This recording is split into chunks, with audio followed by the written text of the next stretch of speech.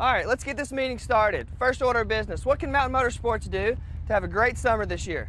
Why don't we have a big sale? I like it. Let's have a big tent sale and drop the prices on everything. Everything? Everything. Two weeks, best prices of the year. Two weeks, our prices are already way too low. All in favor? All opposed? All right, meeting adjourned.